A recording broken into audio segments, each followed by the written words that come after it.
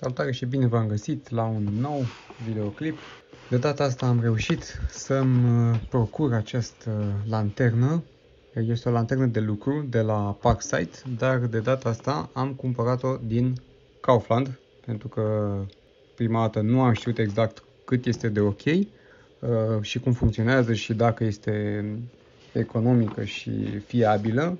Uh, dar se pare că mulți utilizatori și-au spus între timp uh, părerea și chiar ajută. Eu am, o, înainte de asta, pentru că nu am mai găsit-o în magazinele Lidl, am cumpărat-o din, uh, am cumpărat un alt model de la Varta și nu sunt foarte mulțumit și de acela, mă ține 3 ore la putere maximă.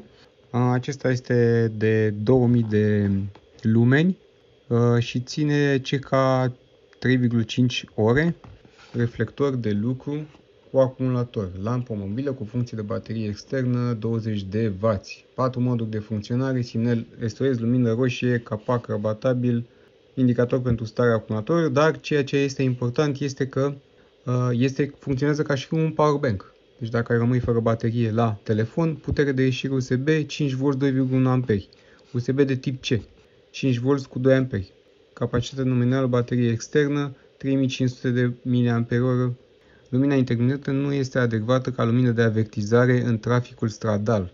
LED-ul nu poate fi înlocuit.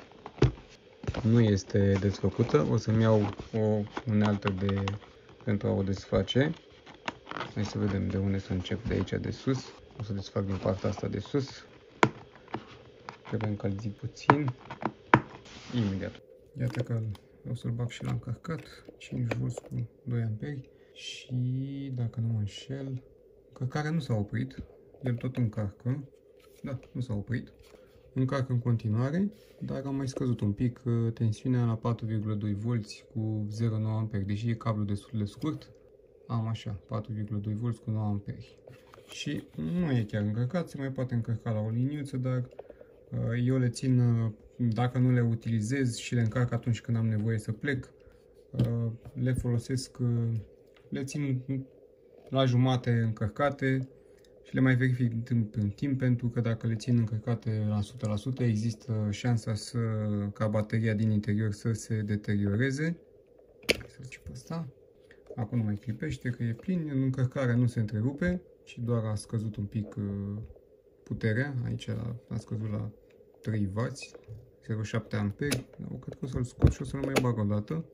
Iată că și-a revenit acum aproximativ dar uh, acesta este un USB clasic și nu, nu poate să tragă mai mult de atât.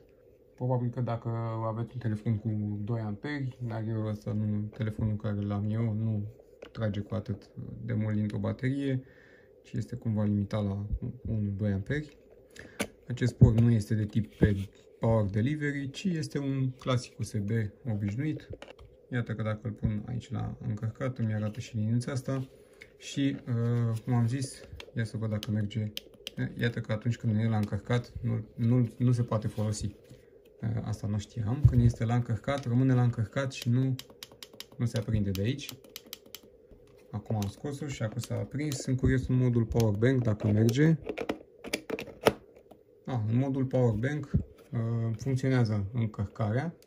Deci asta este, uh, funcționează descărcarea, cum ar veni ca power bank când este pornit, dar când este atunci alimentat, ia să-l încerc să-l bag așa, acum este pe lumina aceasta roșie și când i-am băgat alimentarea, automat s-a oprit aici, nu mai, nu mai face nimic, nu mai încarcă, adică nu mai dă lumină, ci trebuie să-l scot de la încărcat și să-l bag din nou. Bun, asta a fost uh, clipul cu acest uh, mini reflector. E destul de compact, greu, foarte, mai puțin transportabil, dar asta nu se pune pentru că ne dă lumină destul de mare.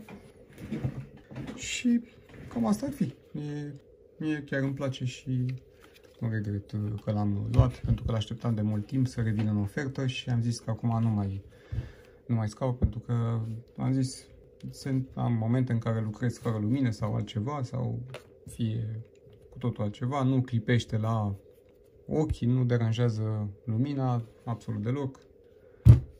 Asta a fost tot. Eu vă mulțumesc pentru vizionare. Dacă v-ați ați avut răbdare să vă uitați până aici și nu uitați să vă abonați, dați un like și să-l share către apropiații voștri acest clip dacă credeți că îi va ajuta în vreun fel. Eu vă mulțumesc, numai bine, o zi cât mai plăcută.